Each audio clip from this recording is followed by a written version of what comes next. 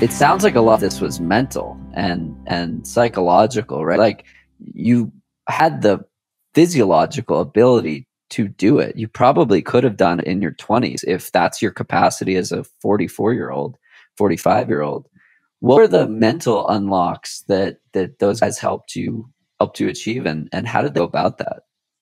And there's so there's so many and they're so interesting. So the first mental unlock is, you know, pain is a psychological process as much as a physical process. And like where exactly is the line between physical and psychological? Nobody knows. But you know, and I can't define the word pain. I'm not going to define the word physical. I'm not going to define the word psychological. I'm not going to find any of those words, but we kind of know what they mean. So when does pain set in? Well, it sets in when certain physiological things happen. And it also sets in when your body gets afraid that it's going to, you know, lose homeostasis or you won't be able to sustain what you're doing. And so one of the ways to train is to convince your mind that you can do it, right? But the problem is that the only thing you can use to convince your mind that you can do something is your mind, right? So like it's hard, right? Like and so one of the things that Steve Finley in particular did is he had me run like very short intervals, like 200 meters, right? I would do like 32 by 200 at, oh my goodness, you know, like 34 seconds, right? So I'm running, but, but what it means is you're looking at your watch and your watch is like 438 pace, right? Or, you know, 440 pace or 444 pace, whatever it's showing it's showing you these numbers that look absurd, right? Because I wouldn't, when I was doing my old training, I would, you know, maybe I'd run like a little bit at like 555 pace. But what he was doing, you know, maybe there's some physiological benefit to running 32 by 200, but there's real mental benefit because like you look at your watch enough and it says 440 per mile.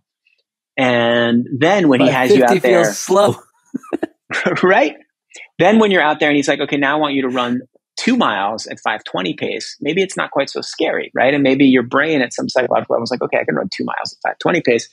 And then you run two miles at 520 pace. And then maybe when you're out there on the course, right, and you're trying to break 230, which is whatever it is, 541, I can't quite remember, right? Um, or you're trying to run like 555s or whatever you're trying to run, which is 555 is what I was trying to run in the 50K.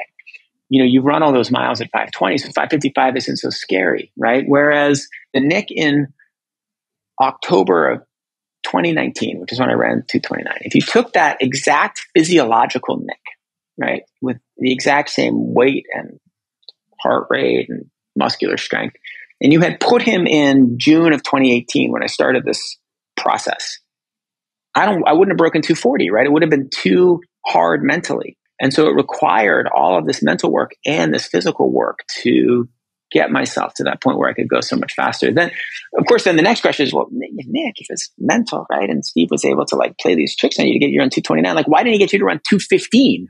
right. Um, and they, at some point there is a physical limit and you maybe like maybe it was COVID, like maybe he could have gotten me to go faster. Maybe I could have run at 225. Like I don't, I don't actually know what the exact limit would have been if I had been able to keep that system going before it kind of all broke down.